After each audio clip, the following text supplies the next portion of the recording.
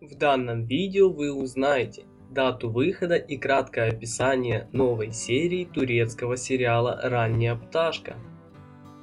Санем не может заснуть, узнав, что Джан и Джейда были вместе в баре.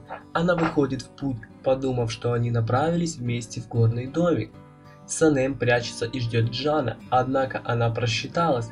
Джан приехал один, да к тому же заметил, что Санем прячется. Эта ситуация ему совсем не понравилась.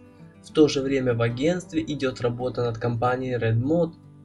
Эта работа очень важна для Джана, но у Айлин, как всегда, есть планы. С другой стороны, в районе Санем готовят сватовству. Осман придет просить руки Лейлы у ее семьи. Уже совсем скоро все любители турецких сериалов смогут насладиться новой серией турецкого сериала «Ранняя пташка» на русском языке, которая появится на ваших экранах уже 9 февраля.